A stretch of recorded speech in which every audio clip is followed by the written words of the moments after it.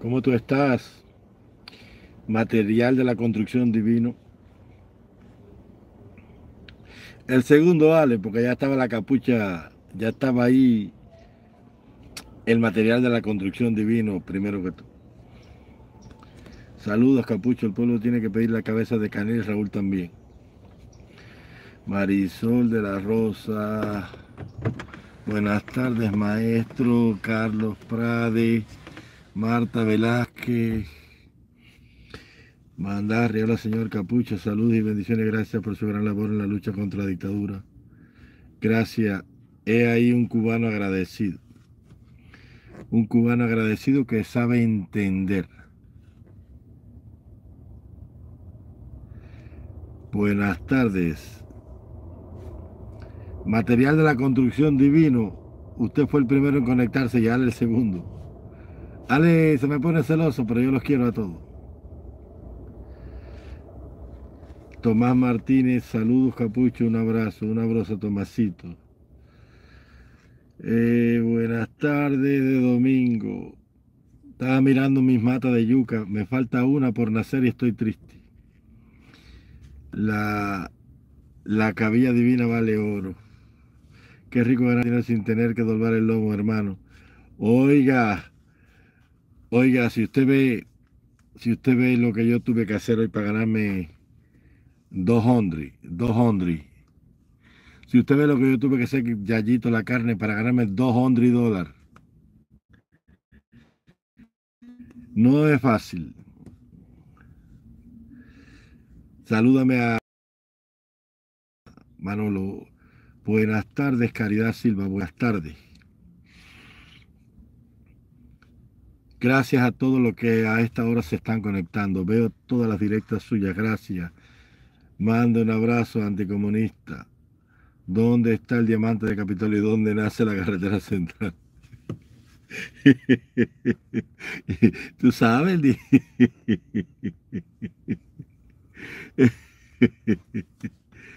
eh, tú, tú, calienta la tarde, capucha, Eli González. Tú sabes que yo, mira, eh, a ver, es que yo quisiera hablar con todos, interactuar con todos pero es que la directa también ocupa mi lugar. No es fácil. Mm, ¿Qué tela para hoy? Un rojito. Eh, buenas tardes, maestro. Chencha, el cobre está caliente, maestro. Habla del fusilamiento de Ochoa. Ochoa era un delincuente. Saludos, hermano. Ochoa no era buena persona ni, ni de la guardia, ni, ni, ninguna de esas dos. Eso eran dos pandillas en el Menín y en la FARC. Ay, ¿cómo yo le explico a este pueblo? Mira, a ver, cuando ustedes ven, cuando yo hago un resumen de la historia de todo lo que ha vivido el pueblo cubano, lo hago porque cuando yo veo sale un grupo de muchachos, llámese youtuber, influencer, comunicador, dueño de plataforma, que se ponen, por ejemplo, yo vi, a, a este hijo de Susana Pérez con un poco de muchachos ahí, hablando del tema del Moncada, del señor aquel que te dije. Y yo lo hago para que la gente sepa, porque cuando el GEDO, cuando los oficiales del GEDO, que son especialistas en la historia de la tiranía y ven ese grupo de personas y dicen, pero mírame, tú te das cuenta, estas son la gente que luchan contra nosotros. Una mano de ignorantes que son capaces de ignorar la historia nuestra. Entonces, yo recalco todo esto aquí para que la gente vea que del lado de acá no hay personas ignorantes, aquí hay personas que saben y sabemos lo que estamos haciendo. Y que somos personas serias en esta lucha. Nosotros no estamos aquí para inventar historia y denigrar de nadie. Nosotros estamos, nosotros estamos como pueblo heridos.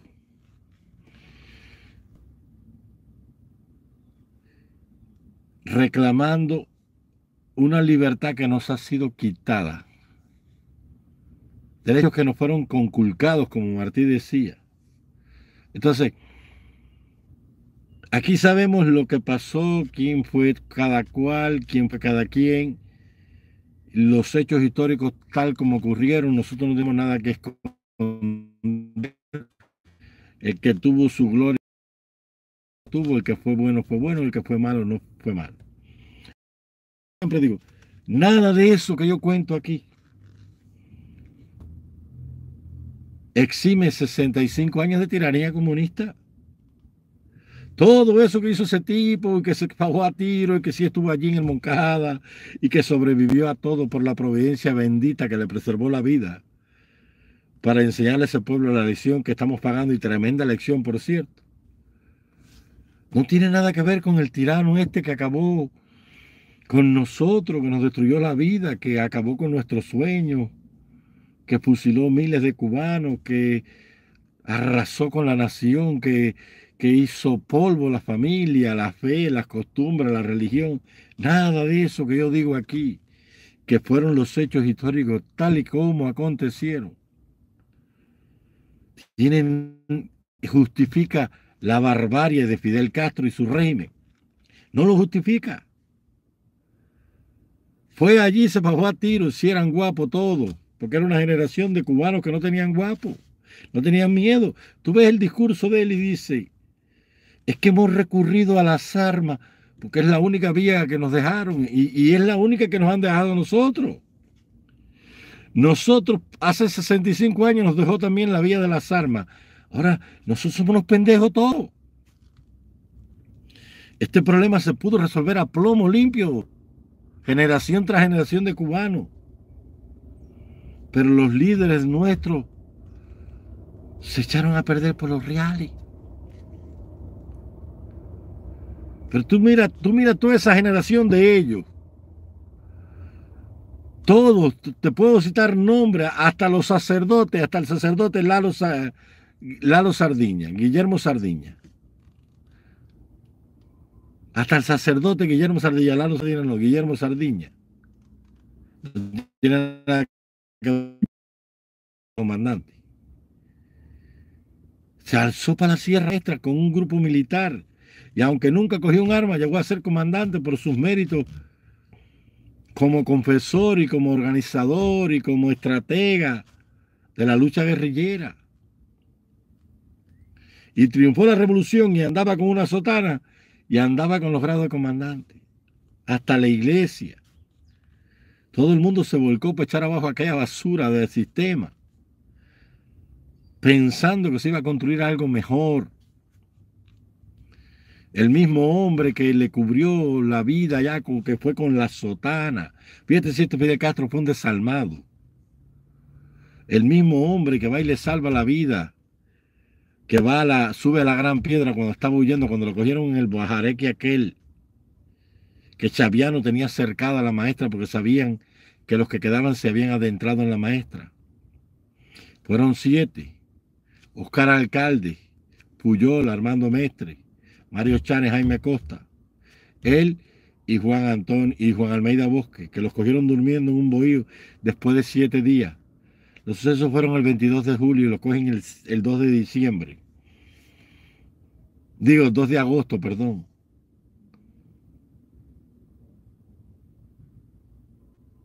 Después que Fidel había hablado con todo el equipo que quedaba para que ellos se entregaran a cambio de salvarle la vida a él. Y le dijeron, no, o nos morimos todos, nos salvamos todos aquí. Lo cogieron en casa de un campesino allá por el pueblo de, de la Gran Piedra, por allá en una barriadita que había y el mismo Padre que le salvó la vida. Cuando él triunfó, que fue al ayuntamiento de Santiago de Cuba, da un discurso. Y Raúl Castro invita a Ubermato a que diga unas palabras y las dice. Y habla Fidel, y habla Raúl, y habla el Pérez Cerante, el Monseñor de la diócesis de Santiago de Cuba. Dice, y ojalá que sobre la ruina de esta nación, te, te, voy, te estoy leyendo y citando el discurso íntegro, sobre la ruina de este gobierno malvado, miserable que ha pasado, se levante un gobierno cubano, nacionalista, del pueblo, por el pueblo y para el pueblo, que trabaje a favor de la libertad, la democracia, la justicia y el progreso social. Porque si se levantara un gobierno distinto, con ínfulas de poder, y atropellara entonces los derechos del pueblo de Cuba, entonces de nada ha valido y de nada habría servido haber luchado tanto y haber derramado tanta sangre, la sangre preciosa de los hijos de la tierra cubana. Y triunfó y cogió al Padre y los, y los cercó en Santiago de Cuba y el padre murió en el año 67, el obispo, y, lo tuvo cercado por la seguridad de Estado, que no le dejaba ni ir al baño. El mismo hombre, este era Fidel Castro. Y yo te digo, siempre te voy a decir lo mismo. No se pensó, cojones. Aquí no, eh, perdonen, que yo de estos temas yo no puedo. No se pensó con la cabeza, coño. Aquí nadie pensó con la cabeza. Porque fueron, fueron muchos sucesos. Mira, te voy a explicar, déjame explicarte. Cómo se. Alguien me explicó, me preguntó el otro día, fulano. Él no sabe que yo soy el encapuchado. ¿Cómo fue que él logró posicionarse? ¿Cómo, cómo, él logró engañar a tantos líderes políticos? Porque ya él, ya él lo había preparado todo desde la prisión fecunda. Esos 22 meses de encierro prepararon el camino para que naciera el demonio que fue y en el que se convirtió. Allí no había nada armado. Era toda, quiero que entiendan que el ejército rebelde no era el movimiento 26 de julio, eran todos los grupos armados del país.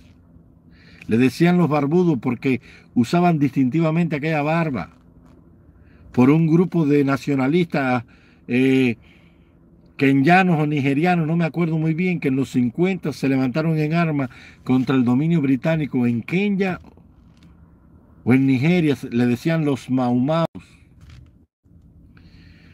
Pero los testaferros del régimen de Batista le decían los muerde porque te tiraban cuatro tiros y se iban. Entonces era un ejército desmoralizado, porque no había un mando establecido. Porque Batista, eh, déjame explicarte cómo pasó todo para que tú, para que tú sepas por qué estamos en esto. El problema es que el golpe del 10 de marzo de 52 en sí no lo da Batista. Batista no está en Cuba. El ascenso de Batista y de la gente y de los golpistas del 10 de marzo no tiene su origen. Aquel madrugonazo del año 52 empieza con la sublevación de los soldados y las clases a la caída del gobierno de Machado, el país no tiene un, no hay real en el país, el país está en la ruina. Entonces los tenientes para arriba se suben el sueldo en el ejército y dejan a los soldados, a los sargentos y a los cabos ganando una basura. Lo mismo.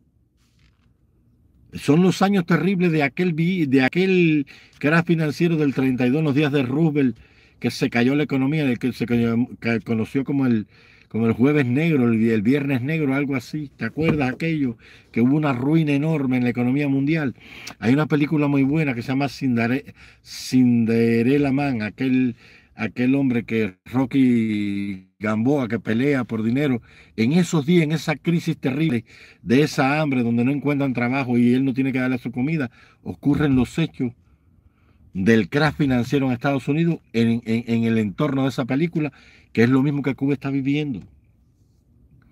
Pero que a nosotros la crisis nos llevó menos tensa, porque nosotros, a diferencia de los yanquis, teníamos una reserva internacional de oro muy grande.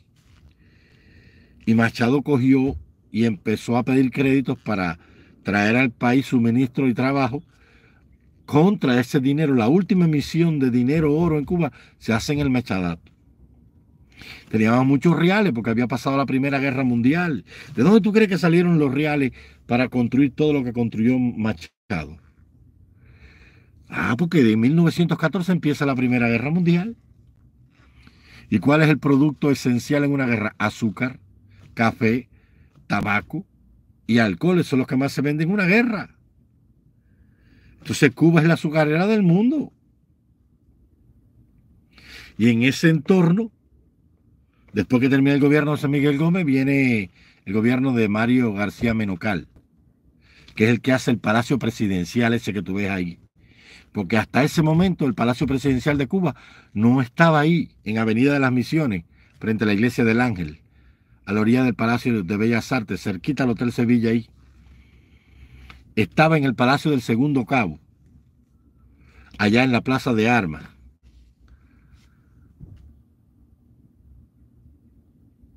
Porque ahí estaba la sede del gobierno español durante los 170 años, porque hasta 150 años anterior a eso, la capital de Cuba había sido Santiago de Cuba.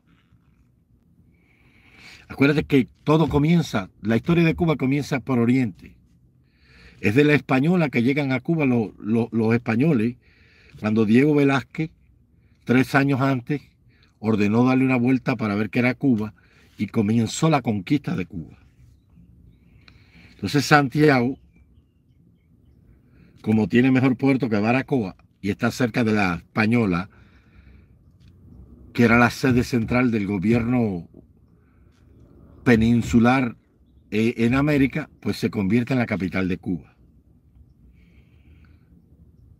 Pero tiempo después, cuando ya Hernán Cortés en 1519 prepara desde el Ato de Atibonico en Pinar del Río la expedición, tiene que parar la flota que viene por el norte de Baracoa en la bahía de La Habana. Y ahí encuentran, ahí descubren tres cosas. Descubren que en la zona de lo que es hoy el río Martín Pérez, la rotonda de Guanabacoa, Regla Casablanca, hay brea, asfalto, había brea. Por eso es que hay mucho petróleo en la zona Habana Matanza, porque en esa época había brea. Y era bueno para calafatear los barcos para que y ahí reparan los barcos. La Habana que tú conoces hoy no era que era una ensenada llena de árboles inmensos eso es que el vedado se llama vedado. El vedado se llama vedado porque eso era un bosque lleno de piedra ahí, que tenía buena madera, y entonces el rey de España lo cogía para sus construcciones navales. Por eso se llamaba vedado prohibido, ahí no podía entrar nadie. Por eso el vedado se llama el vedado. Entonces se paran ahí y descubren tres cosas. Descubren primero la corriente del Golfo, la Gulf Stream, Gulf Stream, aquella corriente que te llevaba frente a Terranova allá en Canadá, y de ahí los alicios que vienen del norte te tiraban frente a las Azores, arriba de Canarias, y entonces ya estaba en España. Porque la España que tú conoces, la de Capital Madrid, eso es en, Carlos, en el gobierno de Carlos III de Godoy. Hasta ese momento la capital estaba en Sevilla. Y anterior a eso estaba en Castilla. Porque la España que tú conoces hoy no es la España aquella. Aquella España eran cuatro reinos maltrechos en el feudalismo que se unen en una alianza cristiana, Fernando e Isabel de Castilla y Aragón, de Navarra y de León, para expulsar lo que queda del califato árabe que está del centro de España, de Zaragoza hacia abajo, hasta el Mediterráneo. El único que los había contenido era Pelayo, un jefe cristiano que con 100.000 hombres derrotó a un califa, Oman, no me acuerdo el nombre de él y es el que los para allí. Pero España está llena de judíos y está llena de sarracenos. Entonces, nacional y de paso ya que votan a los moriscos de de España, también expulsan 150 mil judíos.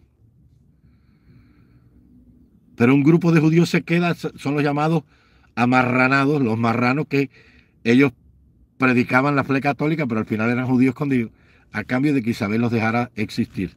Son esos judíos los que le dan, le prestan dinero a Colón para que él prepare la expedición al Nuevo Mundo. Dos barcos están maltrechos, uno solamente es un barco bueno. La Santa María era el único bueno. La Pinta y la Niña eran un par de chalupas que la repararon. Y después buscar una tripulación que viniera a América. Y entonces en ese contexto, Cuba va creciendo, creciendo, creciendo, creciendo y se traspasa La Habana para el puerto de Batabanó, porque la ruta era por el sur. Acuérdate que ellos van rumbo a México y preparan la flota en, el alto de Aguanico, allá en Pinar del Río. La gente de Cortés que va al imperio azteca. Eso en 1519 coincide con la reforma protestante de Martín Lutero y también con la expansión del imperio otomano, de Suleimán el Terrible, aquel famoso, de las novelas turcas esa que tú has oído hablar mucho. Todo eso coincide en la misma época. Entonces, el Palacio Presidencial cubano había estado en el Palacio del Segundo Cabo. Y ahí estuvo Estrada Palma y estuvo José Miguel Gómez, sus dos periodos. Pero después vino Saya y gobierna allí. Digo, Mario García Menocal gobierna en el Palacio Segundo Cabo, pero manda construir en, después del 1914 que cae se va el gobierno de José Miguel Gómez por un problema de una matanza que hubo en Oriente, en el llamado Realengo 19, 18 allá, que mataron tres mil y pico de personas de la raza negra que habían sido soldados del ejército libertador, que se sentían discriminados en Cuba y que querían crear un, crearon un partido independiente de color y eso era en contra de los liberales José Miguel Gómez y de los conservadores, que eran los dos partidos políticos que habían en Cuba en ese momento, y entonces los declararon inconstitucionalmente. Y entonces se da la famosa matanza esa que se da, la llamada guerra de la chambelona, de donde viene la canción Ae, Ae, Ae, la chambelona. Que el jefe del ejército en esos días, gracias mi hermano Yayito por tu super chat. Me perdonan si por favor no voy viendo el chat, es que estoy contando la historia. En esos días, el hijo de Martí es el brigadier general, eh, general del ejército y es el que tiene que hacerse cargo. Por eso José Julián, José Francisco Martí Sayas Bazán es el que carga el oprobio de la matanza de los independientes de color. Entonces, ¿de dónde tú crees que sale la plata? Llega la Primera Guerra Mundial, se paga el imperio prusiano, contra los ingleses, contra el imperio austrohúngaro, lo que es hoy es Borri, Rumanía, Austria, Bosnia, Herzegovina, todo eso por ahí, los Balcanes. No es la Europa que tú conoces, eran otros imperios. Todo ocurre porque matan en Sarajevo al archiduque Fernando de Austria. O sea, archiduque era el jefe de los duques, heredero del trono alemán, lo matan allí comienza la Segunda Guerra Mundial, o sea, del Imperio Austrohúngaro, perdón. Y empieza la guerra. Y Cuba, fuera del, del escenario político, comienza el bon azucarero, la llamada época en Cuba de las vacas gordas. Y así se mantiene hasta el año 22. Menocal construye el Palacio Presidencial y viene Alfredo Saya que también fue general de la guerra de independencia, y Menocal, José Miguel Gómez, hasta Machado. Machado es el último de los generales cubanos. Por eso hay un libro escrito por Serpa que se llama Generales y Doctores, donde cuenta la historia desde José Miguel de, de Estrada Palma hasta Machado, los generales, y de ahí en adelante los doctores, los hijos de los generales. Tienen que leer entonces yo cuento todas estas cosas y cuento la historia como es para que los comunistas sepan que aquí no hay una mano de comer mierda, como esa mano de huevo se pone a hablar bobería por ahí. Entonces, sale el dinero. De esa riqueza se hacen los planes para construir bajo el gobierno de Alfredo Saya la carretera central. Pero Saya pierde las elecciones y viene Machado, que había sido su compañero de fórmula. Y gana las elecciones Machado. La, perdón, Machado gana las elecciones y comienzan los planes de construir todas las obras públicas del país. No, no solamente fue el Parque de la Fraternidad, ni la Fuente de la India, ni el parque que está frente al Palacio Presidencial, ni, ni, ni se hicieron, eh, se hizo una carretera de Pinar del Río a, a Guantánamo porque Baracoa no se pudo llegar porque la de Baracoa empezó Batista, que es la de la farola, que nuestro querido comandante jefe se adjudicó la construcción de la farola, pero eso es mentira, eso es Batista. Fidel Castro lo único que le hizo a la farola fue echarle el asfalto, ya estaba hecha todo. Eh, aquí los comunistas no pueden decir a venir así mentira. Pues yo sí me la sé todo aquí. La farola no la terminó. Fidel Castro le puso la capa de rodamiento nada más. Ok, eso estaba hecho con Batista ya. El hombre que más construyó en Cuba después de Machado fue Batista. Esos siete edificios de esa plaza cívica que ellos malamente llaman plaza, eso fue hecho por Batista, por aquel ladrón miserable, de ese pueblo hijo de puta, que tiene lo que tiene, pues es el pueblo más, déjame hablar, déjame hablar, que es que yo tengo que decir la palabra. Ese es el pueblo más cingado de la historia humana. Oye, cuando dieron el golpe el 10 de marzo del 52, era tanta la credibilidad que tenía Batista por haber hecho aquel pacto político. Después del golpe de los sargentos, el país era una anarquía política total. Ahí mataron mataban a todos los líderes sindicales. Eran, el realengo 18 era un oeste, se mataba a todo el mundo. Cuando matan a.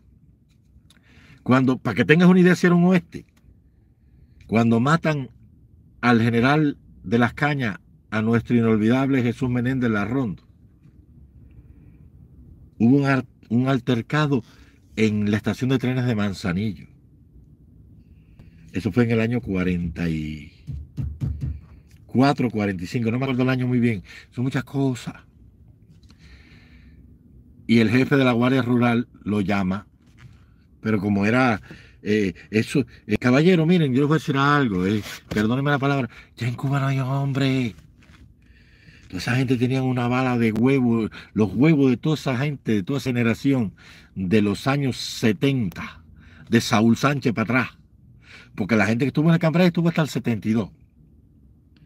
De Saúl Sánchez para acá. Los huevos y los ovarios de las mujeres cubanas, no había una romana para pesarlo de lo que pesaban esos huevos. Mujeres alzadas en el escambray tirando tiro como un hombre, muchachos. Parían el escambray, los niños se morían de hambre. A miles de guajiras allí, al saco, una pepecha al hombro, muchachos.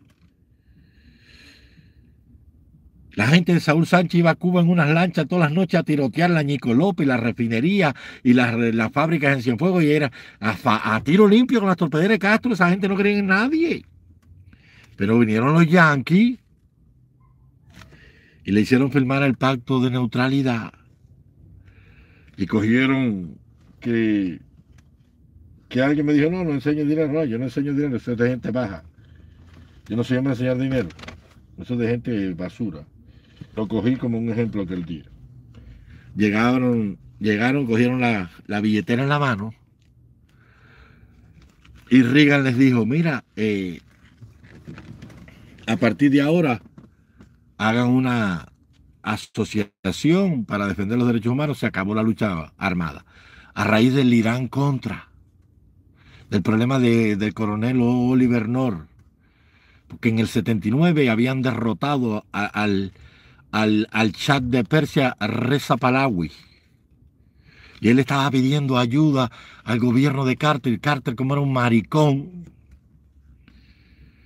un pendejote, un pastor bautista come mierda, no le dio ayuda y vino y, derrocaron a, a Reza Palawi, se tuvo que exiliar en México. y vinieron los ayatolas comunistas estos que son una mezcla de fundamentalista islámico con comunismo. Eso es un el, demonio. El gobierno más miserable de la historia humana es el gobierno iraní. Más que Corea, más que el de Canel y Raúl, eh, eh, Corea y Canel son unos bobos antes de ese gobierno. Gente no creen en nadie. Esa gente cogieron, ahorcaron al mejor futbolista el otro día porque se, porque se rebeló contra ellos. El mejor futbolista, el ídolo del país, lo pasaron por la piedra en una plaza pública y lo ahorcaron. Esa gente no creen en nadie. Y entonces se da el escándalo del Irán contra las armas que se le venden a Irán, que era enemigo de Estados Unidos, para luchar contra Saddam Hussein la guerra del Golfo famosa, que no tiene nada que ver con la invasión del 91, en la guerra del Golfo arábigo-pérsico entre Saddam Hussein, que era el guapo del Oriente Medio, y los comunistas de Irán.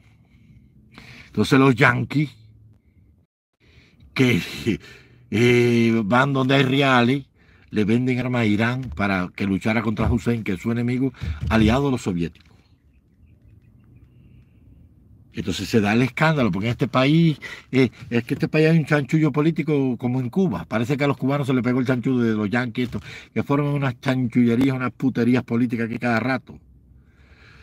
Y entonces está en juego la presidencia de Reagan, porque ya viene, de, ya, ya viene el, ya, ya, ya, el país venía de un escándalo enorme, no se había recuperado del, del Watergate, del escándalo de Nixon que obligaron a Nixon a renunciar por el problema que estaba espiando al Partido Demócrata. Y el FBI infiltró gente y se dieron cuenta. Y entonces está en juego la presidencia de Reagan, pero está en la plena Guerra Fría, la Guerra de las Galaxias. Entonces salió un militar de honor que era un coronel del ejército, se llamaba Oliver North, y un cojonú patriota se echó las culpas a todo y lo metieron preso y dijo que no, que el presidente no tenía nada que ver con eso, que eso, era, eso había hecho él a título personal. Y entonces, teníamos tanto valor, los cubanos tenían tanto valor que cuando Joaquín Casilla Lumpuy paró a Jesús Menéndez, porque Jesús Menéndez había ido a Estados Unidos a buscar el, diferencial azucarero. El diferencial azucarero era un dinero adicional que el gobierno americano pagaba, porque ellos nos compraban la zafra de un año para otro. Pero si subía, nos pagaban ese diferencial. Y ese dinero se cogía, se distribuía entre todos los trabajadores del sector. Desde la viejita que cocinaba a los trabajadores en un pelotón en el campo, hasta el que cortaba la caña.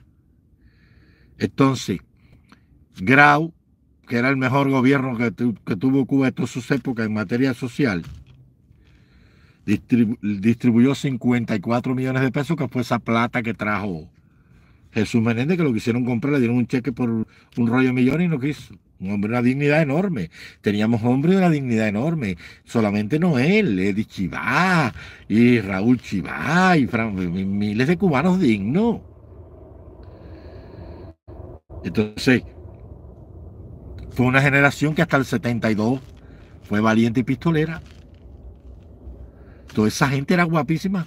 Y Jesús Menéndez está armado y saca la pistola para caerle a tiro a Casiel Umpuy y Casiel Umpuy dándose cuenta del problema le, le dispara por la espalda y lo mata. Capitán de la Guardia Real que luego Fidel triunfó creo si mal no recuerdo y creo que fusiló a Casiel Umpuy. No me acuerdo muy bien. Son muchos datos que están escondidos. No me acuerdo, creo que Fidel le pasó la cuenta a Casiel Umpuy también. Si estaba vivo, no me acuerdo, no vaya a ser que... No me acuerdo muy bien. Tendría que volver a releer, buscar en los sacos de libro ahí donde están las cosas. Y, y, nosotros estamos hechos mierda, chicos. Nosotros somos. Nosotros, ¿en qué, ¿En qué ha terminado la lucha del pueblo de Cuba? En un chanchullo en las redes sociales. En una bobería, en una guanajera. Ahora, a raíz de, de todos los problemas estos, después que acabaron con Gilberto Ramírez y ya la gente se está lanzando en los pueblos de Cuba. Otra vez están en las calles la gente. Y el exilio este maricón no tiene nada armado, chico. No hay nada armado. No han recogido un peso, no se reunieron, no hay un plan de contingencia. Boronal no ha escrito el manual de resistencia civil. No tiene contacto en ningún sindicato. Esto es una mierda esto, chico. Esto es una mierda. ¿Para qué se va a revelar el pueblo? ¿Para que le vuelvan a caer a palo? ¿Con qué se van a socorrer las víctimas? Aquí no se organiza nada. Esto es una mierda. El Consejo para la Guerra de Milanés sirve si, si tenemos un territorio. Pero si no sirve es otra mierda más. Y que me perdone ese trabuco que yo le descargo un mundo. Eso sirve, mi hermano milanés. Lo primero que tú tienes que hacer es juntarte con el empresariado y, sacar el patriotismo. Vamos a comprar un territorio. Si se pudo acabar esta mierda desde el primer momento. Caballero, estamos hablando del exilio más rico de la historia humana. Lee el informe de Hillary Clinton en el noventa y pico sobre la comunidad cubana. Una vergüenza, una vergüenza que, no haya una entidad donde tú puedas dar dinero para, para socorrer, que los presos políticos en Cuba no tengan una lata de azúcar prieta. Eso, eso llora frente a Dios y frente a los santos, chicos. Con tanto dinero y tanta mierda y tanta lujuria.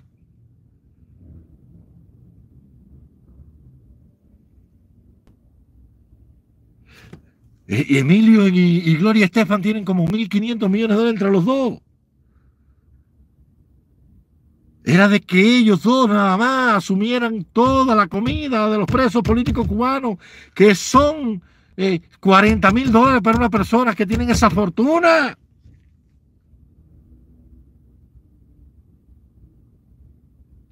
Es una vergüenza, cojones. Que son 40 mil dólares al mes para una familia que tiene 2 mil millones de dólares, chicos.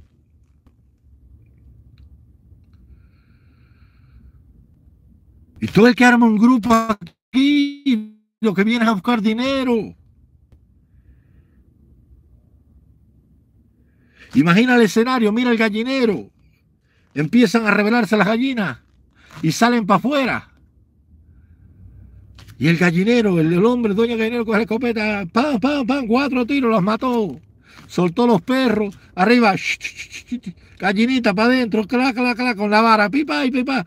Tienen que entrar la gallina porque no pueden fajarse contra el gallinero los perros y las armas. Es imposible, mano de cabrones. Es imposible, no se puede. Déjame no hablar, porque es que yo es que tengo que decirlo, no se puede, coño. No se puede, tú no puedes imponerte a las armas. Las armas están hechas para dominar. Es imposible, no se puede. ¿Por qué tú crees que nuestra especie, que es la más débil, sobrevivió y domina el planeta? Porque el cerebro se desarrolló cuando empezamos a comer carne.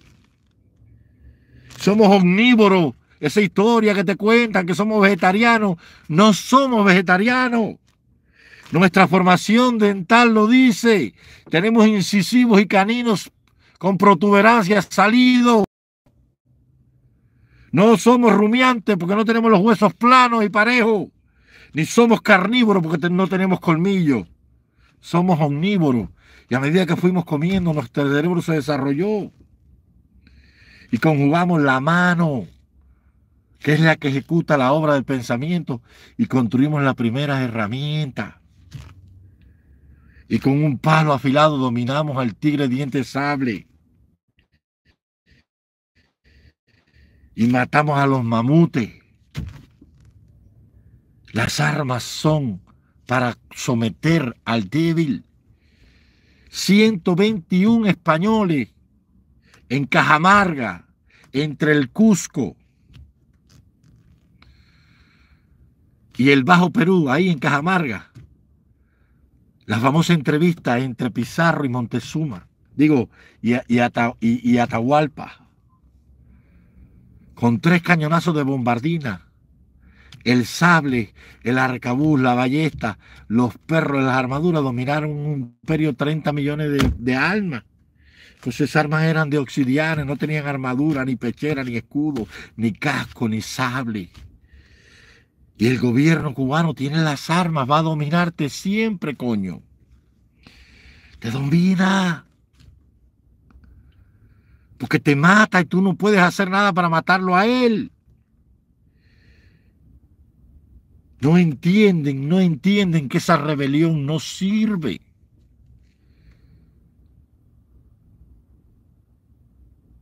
No entendieron esta mano de anormales. Cuando Fidel Castro triunfó, el 98% de la población estaba con él. Nadie pensó y dijo, es imposible luchar. La familia chivateaba a la familia. Mi abuelo le llegó a decir a mi tío que se alzó en el escambray, voy a buscarte allá, Fidel Castro Jesucristo que volvió a la tierra. Estaba ciego ese pueblo, no, no se podía luchar, se sacrificaron dos generaciones, la gente del 60, la de Escambray. Fueron 1.200 personas Bahía Cochino, le tiraron 100.000 milicianos, que son esos viejos que se están muriendo de hambre. Los que andaban por las calles con un palo marchando pidiendo paredón. Imagínate que, empezaron a quemar cañaveral y, y, tuvieron que desistir de la idea porque Fidel metió un batallón de milicianos en cada cuadro de caña. No podías coger para ningún lado, entonces no hubo visión de decir, caballero, esto, eso es como la jeva que está enamorada, que el papá va allá porque el tipo de una pela diaria. Y papá, puedes ir allí, la van a matar. Ella está enamorada y ella, los golpes son sus, son menores que el placer que le tiene al tipo. Y cuando el tipo la coge en la cama y le da lo que lleva, aunque la mate. Entonces el papá va allí lo que va a buscarse un problema con el yerno abusador.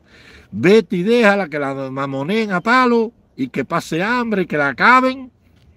Y que sea la vida y el tiempo que le enseñen que eso que está ahí no sirve.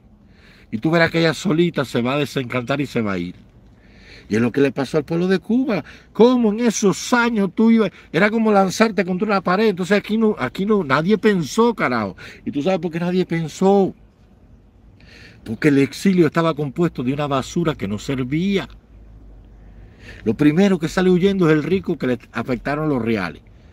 Ah, no, yo no voy a vivir aquí en el comunismo si total me voy.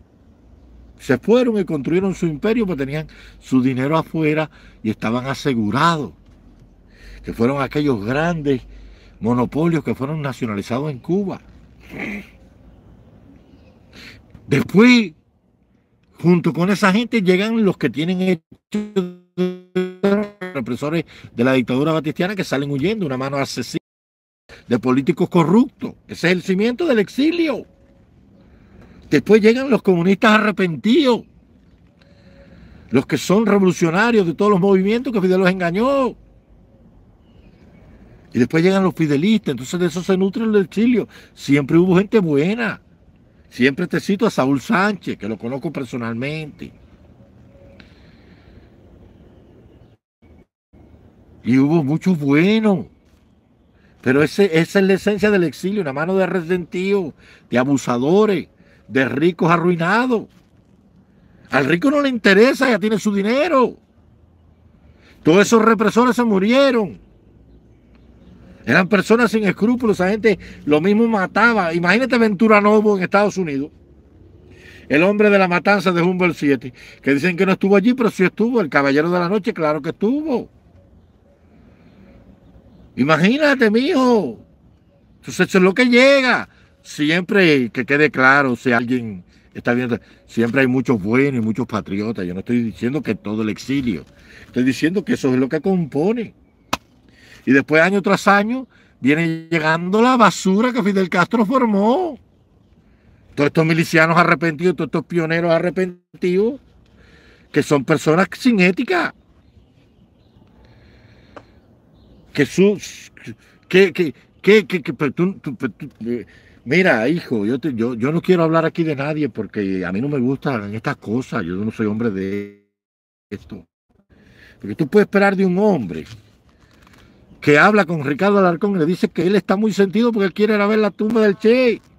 Yo sé que él lo dice un poco eh, mezclando verdad con mentira para, para hacerle ver al tipo que, es una mierda el comunismo. Pero, pero Ferrer no le hubiera dicho eso.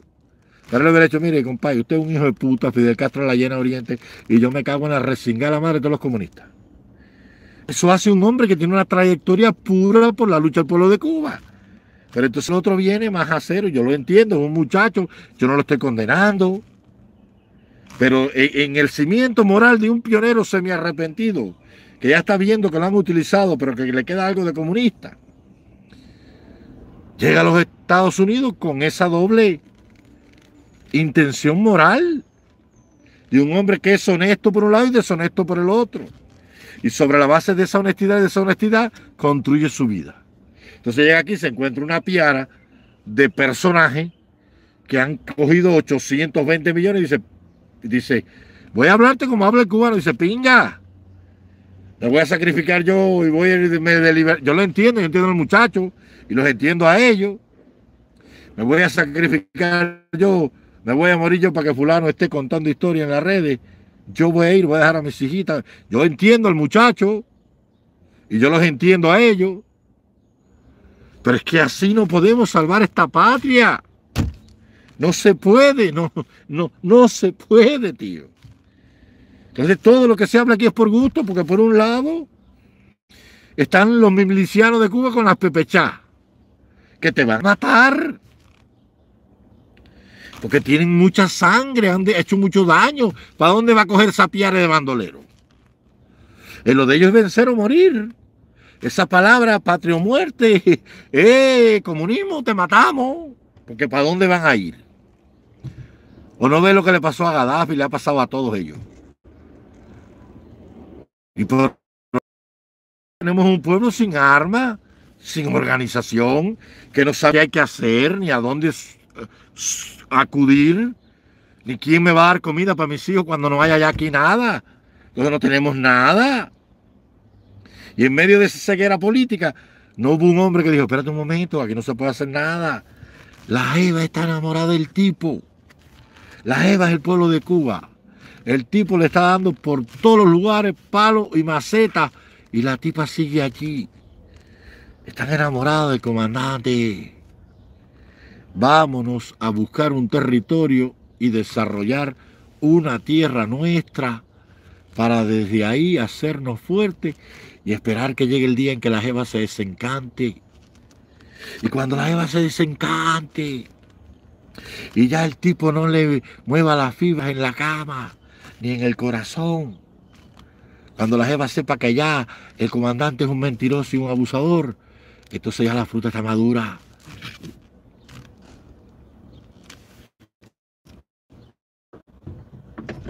Ya el padre puede llegar a la casa y decirle, Josefita, vamos, y deja el cingado este que si se pone lo voy a matar aquí mismo. Así es como debieron haberse hecho las cosas. Te estoy hablando así para que tú veas en el escenario en que los hechos debieron ocurrir. Palabras, las palabras que expresan son lo que yo te estoy diciendo.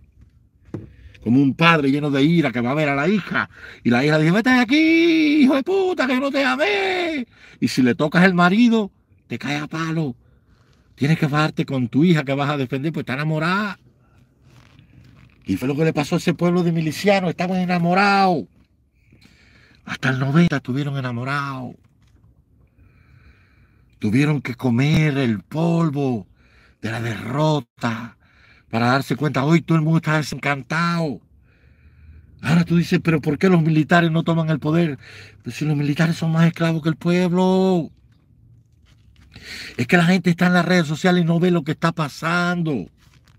Tú no ves que acaban de reformar el Código Penal Militar. Y los militares, si no son los civiles, a los militares los acusan por sublevación, por insurrección, por insubordinación al poder y al mando. Y le hacen un juicio sumario y los fusilan en 48 horas, mijo. ¿Tú no viste el juicio a Ochoa, a la Guardia, a Brante? El juicio que se le hizo a Aníbal Escalante, la gente de la microfracción en los 60 que le querían dar un golpe de Estado a Fidel Castro. A Fidel Castro han querido echárselo a lo largo de toda la historia, pero el tipo tenía más habilidad. Hubo un comunista de la vieja Cuba que se llamaba Aníbal Escalante, que se dio cuenta que, que el comunismo Fidel Castro, una tiranía totalitaria comunista, no tenía nada que ver con, con la esencia del Partido Socialista Popular de ellos. Ellos eran progresistas, amaban la democracia, la libertad dentro del Partido Comunista. Entonces empezaron a hacer una conjura para darle un golpe de Estado a Fidel Castro. Los comunistas viejos se empezaron a reunir ¿Y qué hizo el comandante? Se dio cuenta porque el tipo se la olía a todo el tipo. El tipo no confiaba ni en la madre que lo hizo. Y los casó a todos. Le hizo el juicio de la microfacción. Y ñampito y gorrión para todo el mundo. Esas cosas la gente no las conoce aquí. El gobierno de Cuba, desde que tú eres un niñito, desde que, tú eres un niñito, desde que tú empiezas en preescolar, ellos te hacen un expediente. Ellos lo ponen todo. Terminaste la primaria, dame acá. La escuela, la escuela interarma, los camelitos, y saben todo de ti. Y después, cuando tú eres un militar muy famoso, te velan día y noche. Y todos esos apartamentos que, que le dan a la gente por la constructora de la FARC y de la juística, todos esos apartamentos que le dan a los oficiales, todos esos tienen cámara y tienen micrófono y la Dirección General de Inteligencia, la contrainteligencia los está monitoreando y la jefa que se casa con el general es chiva de ellos, los tienen controlado a todos. Tú no oyes que son chivatos por convicción. Tú no viste a Gerardo, René, Antonio, Fernando, Ramón, Pito, Pérez y la madre de todos esos hijos de puta. Chivatos por convicción. Vivieron en los Estados Unidos, vieron lo que era la democracia. Aquí ganaron dólares, aquí nadie no tuvieron que chivatear. Y estuvieron 17 y 20 años aquí y seguían siendo chivas hasta el final de su vida. Entonces, sobre la base de todos esos hechos, te tienes que dar cuenta con quién tú estás jugando y con quién tú te estás enfrentando. A Ferrer no lo van a matar, pero a los, militares que se vieron lo fusilan 24 horas. Y a Ferrer no lo matan, lo dejan ahí. Suéltalo y cásalo, y suéltalo y cásalo. Es una tiranía que tiene una represión sobre base científica. Que no improvisan nada, que todo lo tienen hecho ya. Y nosotros no tenemos nada. Nosotros que tenemos un poco de papagayo aquí, un poco de viejo sinvergüenza que nadie sabe ni quiénes son ya. ¿Con qué vas a luchar? Entonces, ¿para qué vas a llamar al pueblo a la rebelión? ¿Para que los maten a todos y no pase nada? Y no tenemos a nadie, estamos solos. Nadie nos va a ir a apoyar. La Unión Europea sigue manteniendo el sistema. ¿Por qué tú crees que Estados Unidos le pone a Cuba tantas sanciones? Porque ellos no le perdonan que Fidel Castro metió las bombas atómicas, los cohetes nucleares, los cohetes atómicos. Y como esta gente no perdona a nadie, el pueblo de, este pueblo miliciano tiene que pagar eso y lo tienen en la ruina hasta que, hasta que los gringos no maten a todo el mundo con esas sanciones. Eh, ahí el pueblo de Cuba va a terminar muerto por el Partido Comunista y por el gobierno americano. Entre los americanos, el comunismo va a acabar con el pueblo cubano, lo van a matar de hambre.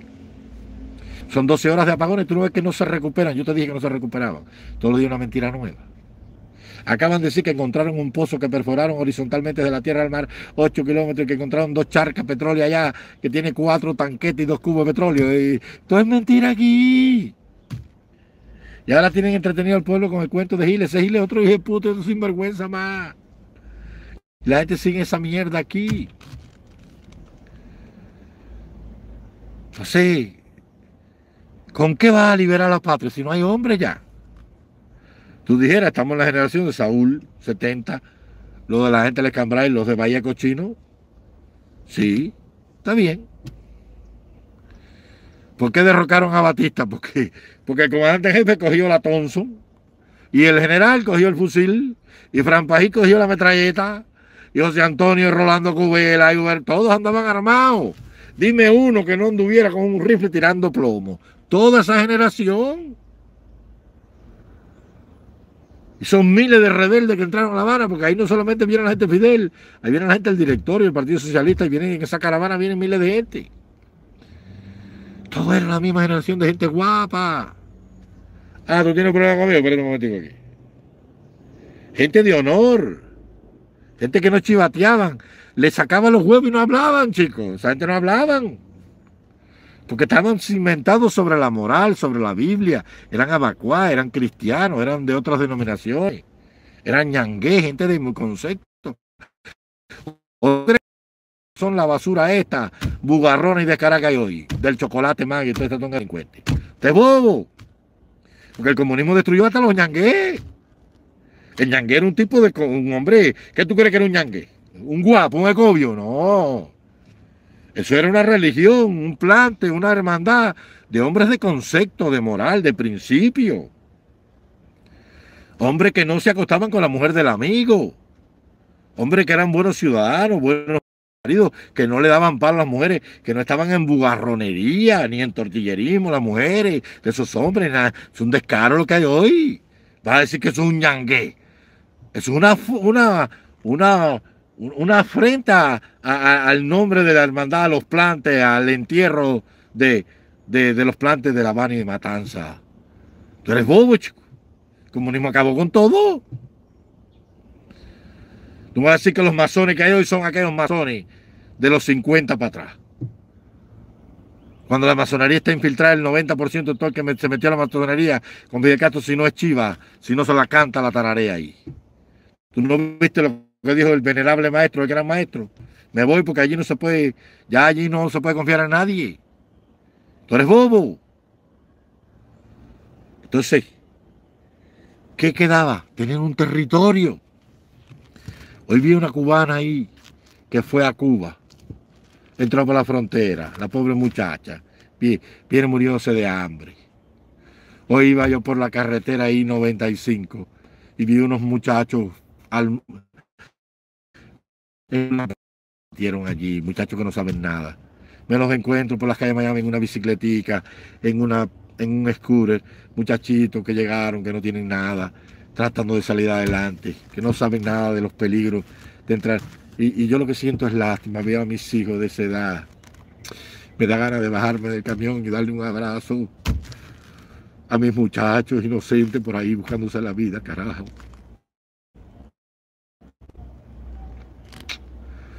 Sin saber el peligro, la muchacha de 19 años se subió al expressway, huyéndole a la barbarie de nuestra tierra, porque nosotros dejamos que nos robaran. Somos, caballeros, somos nosotros los culpables de toda esta mierda.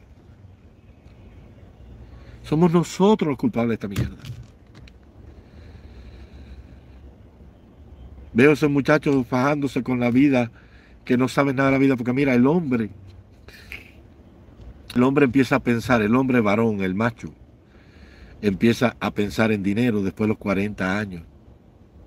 Ese muchachito ahí eh, a matarse con la vida para ayudar a su familia, a sus viejitos, a sus padres. ¿Cuántos de ellos vivirán toda la vida? Porque, porque no han madurado todavía. Y pienso que hubiese, si no había necesidad de haber perdido nuestra tierra, si hubiésemos tenido un territorio. Vengan para acá muchachos. ¿Con qué edad llegaron? No, no, no. Dale un crédito para que vayan para la universidad, que lo paguen aquí. Y hubiésemos tenido un país rico, territorio rico, próspero, con democracia y con libertad.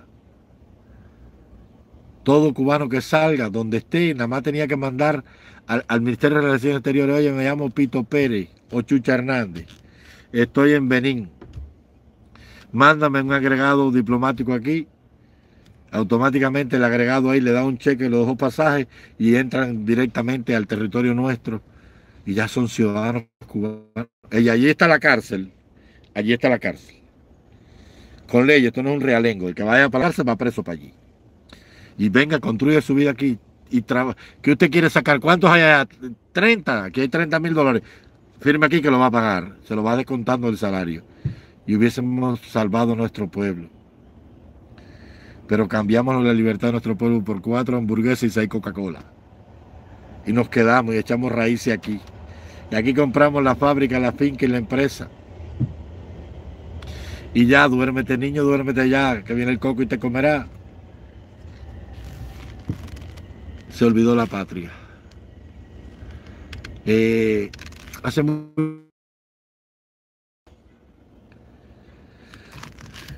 lo reconstruí y lo hice basándome sobre una historia que había leído hace muchos años. Yo tomé como ejemplo la idea y escribí el cuento. Se llama Manos Deformes. La historia de los muchachos aquellos que habían nacido en Alemania, que desde que eran niñitos llenaban con garabatos con carbón todas las paredes de la cueva y daban desde un inicio eh, avisos de que tenían una dote para la pintura como nadie. Y sobre esa historia yo escribí en Manos Deformes. La historia uno se sacrifica por el otro y sale que paga los estudios. Estudia en la mejor escuela de pintura de la Europa del medioevo. Y gasta el dinero que su hermano le manda en lisonjas, en Liguria, en fiesta, en Francanchela y en juerga. El otro hermano se consume en las minas de carbón de la Renania alemana. Y está allí hasta el día en que sus manos de forma ya no pueden empuñar, el pico y lo botan. Y 20 años después, lleno de gloria y de éxito, se acuerda de que había dejado a su hermano botado allá. Y el remordimiento le llevó al alma y salió a buscar a su hermano. Y lo encuentra. Lo encuentra tirado en las puertas de una iglesia un mendigo que había perdido el juicio de tanta hambre que había pasado. Y cuando vio bajarse a su hermano, que no lo conoció, vestido de noble caballero, le extendió aquellas manos agarrotadas.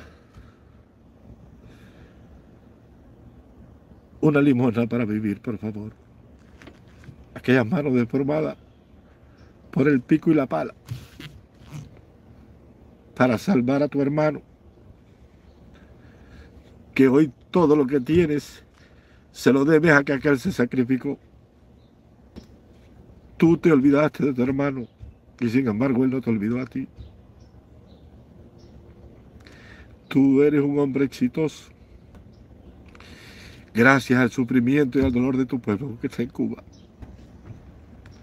Nosotros no hemos hecho nada por el pueblo de Cuba, es mentira. Hemos pagado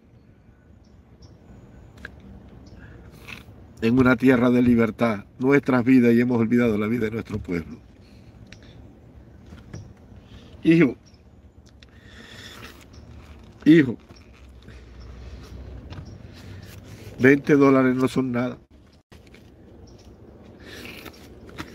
20 dólares por un millón son 20 millones de dólares al mes. hubiésemos salvado a nuestro pueblo con algo tan miserable como 20 tristes dólares. Nosotros somos un pueblo que como siempre te digo somos... No me haga ningún cuento a mí, chico. No me hagas ningún cuento a mí. Revise tu escaparate, a lo mejor tienes 200 tangas que nada más te pones una. Revise tu escaparate, a lo mejor tienes 20 pares de tenis y no te pones ni uno. Pues yo lo que, lo que uso es un par de botas en las calles. El consumismo mató nuestro patriotismo y nos olvidamos de nuestro pueblo. No hay nada organizado, aquí no hay nada. Vaya a la plataforma de todos ellos, chino y brete mañana. Este pueblo está condenado. Lo único que le queda a este pueblo es que el Partido Comunista, cansado de tanta caldero y tanta lata y tanto problema, libere la economía para que la gente otra vez vuelva a comer y vuelva a soñar y preservemos la vida de nuestro pueblo hasta que veremos qué es lo que Dios quiere y qué es lo que pasa. Más nada. El consejo para la guerra sirve si hay un territorio. Si no hay ningún territorio, eso es letra muerta y eso es otra pinga más. Y demás y demás, y estoy cansado ya de esto yo aquí, chico. Cansado de que venga un maricón a decirme a mí que yo soy chivato, con lo que yo he sufrido y he pasado por este pueblo maricón. La mano de puta esto, que no tiene historia ninguno ni tiene nada. Que me quieren silenciar a mí porque yo vine a decir la verdad. 30 millones de dólares todos los años dado a radio, televisión, Martín, 30 millones de dólares para decir la misma pinga que dice Mario J. Pentón, que dice esta ola, que digo yo, que dice todo el mundo aquí. 30 millones de dólares. La mano es cingado, bandolero descarado esto. Falsos patriotas, hijos de puta esto. Los quiero mucho. Se me cuidan. Nos vemos mañana. Feliz domingo para todos. Discúlpenme las palabras. No hay otra manera de decirlo, no hay otra manera. Al cubano hay que hablarle así. Al cubano hay que decirle, ¿me entiendes? ¿Me estás oyendo, hijo de puta? ¿Estás entendiendo lo que te estoy diciendo, cingao? Así es como hay que hablarle a esta mano de cingao. Y de malos patriotas, y de sinvergüenza, y de descarado. Y que me perdone la gente decente que hay ahí, que yo no soy hombre de decir estas basura. Hasta mañana.